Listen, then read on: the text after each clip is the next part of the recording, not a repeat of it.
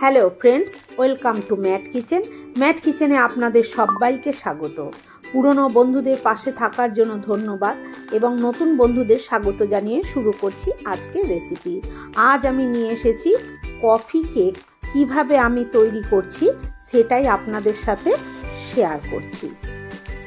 প্রথমে আমি coffee cake তৈরি করার জন্য এখানে দু চামচ কফি নিয়ে নিলাম।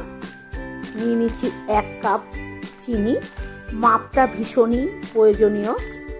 এবারে খুব ভালো করে একটু মিশিয়ে নেব। আপনারা যে কোনো ব্র্যান্ডের কফি নিতে পারেন। আমি নেসকাফি নিয়েছি। এবারে আমি দিয়ে দিচ্ছি এখানে দু থেকে তিন টেবিল চামচ দুধ। দুধটা কাঁচা নয়, দুধটা জাল দিয়ে তারপরে দুধটাকে ঠান্ডা করা। দিয়ে এবার কফি আর চিনিটাকে ভালো করে মিশিয়ে নেব। এটাকে চামচে করে আমি করছি। এখানে অনেকক্ষণ সময় ধরে খুব ভালো করে একটু ফিটিয়ে মেল্ট করে নিতে হবে। আপনারা যদি চান তাহলে হ্যান্ড ব্লেন্ডার দিয়েও করে নিতে পারেন। দেখুন আমি এইভাবে এটাকে নাড়াচাড়া করে মিশিয়ে নিচ্ছি।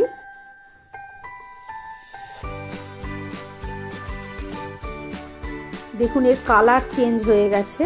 কি সুন্দর কালারটা দেখতে হয়েছে এবং ফমের মতন তৈরি হয়ে গেছে।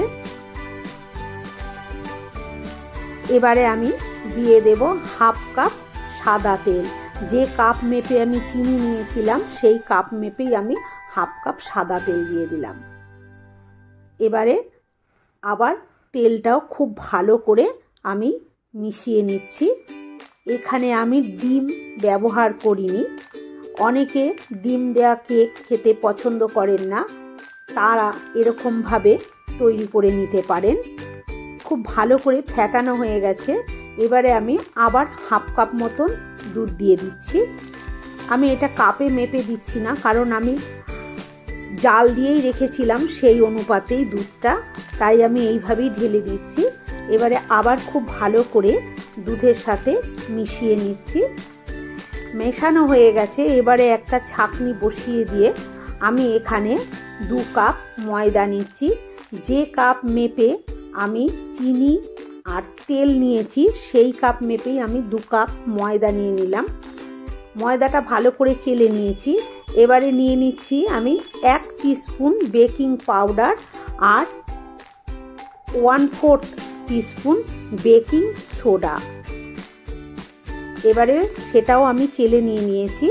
এবারে খুব ভালো করে মিক্স করে নেব।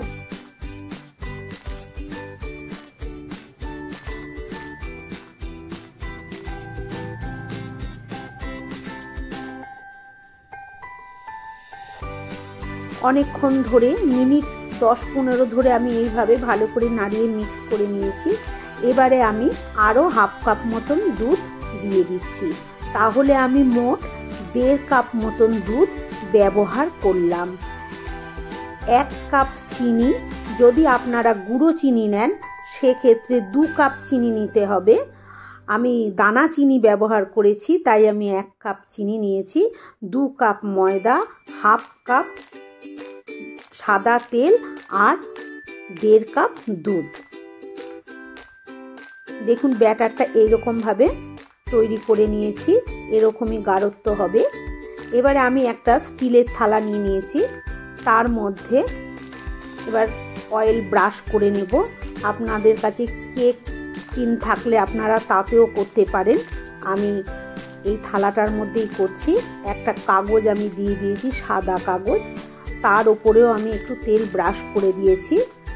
এবারে ব্যাটারটাকে আমি একটু ভালো করে ফেটিয়ে নিচ্ছি। ফেটিয়ে নিয়ে এবারে আমি এই থালাটার মধ্যে দিয়ে দেব।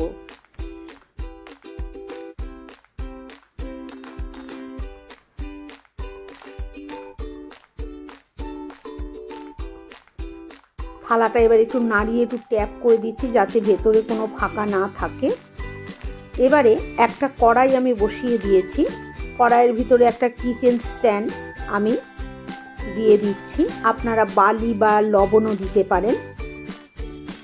এবারে আমি পাঁচ মিনিট ফ্রি হিট করে নেব। পাঁচ মিনিট হয়ে গেছে। দেখুন কীভাবে ধোঁয়া উঠছে। ভীষণই ধোঁয়া উঠছে। এবারে আমি কেকের যে থালাটা আমি সাজিয়ে রেখেছি, সেটা আমি বসিয়ে দিচ্ছি। দিয়ে এবার ঢাকা দিয়ে দিলাম আমি তিরিশ থেকে পঁয়ত্রিশ মিনিটের জন্য। আর গ্যাসটা এখন আমি মিডিয়ামে করে দিয়েছি। পঁয়ত্রিশ মিনিট পর আমি ফিরে এসেছি। দেখুন, কেকটা রেডি হয়ে গেছে। একটা টুথপিক ঢুকিয়ে আমি দেখিয়ে দিচ্ছি। দেখুন, কাঠিটা একদম পরিষ্কার বেরিয়েছে। কিচ্ছু নেই কাঠিতে।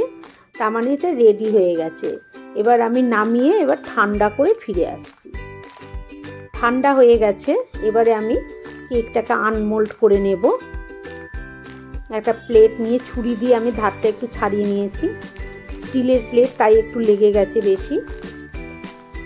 এবারে কাগজটা আমি তুলে নিচ্ছি। দেখুন, কাগজটা তুলে নিয়েছি, একটু একটু লেগে আছে। কেকটা একদম সফট হয়েছে, এবার আমি কেটে দেখাচ্ছি।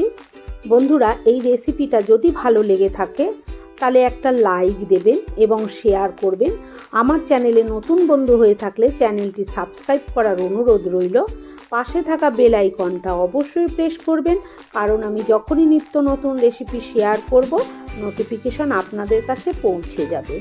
আজকের মতন এই পর্যন্ত। ভালো থাকবেন, সুস্থ থাকবেন। ধন্যবাদ।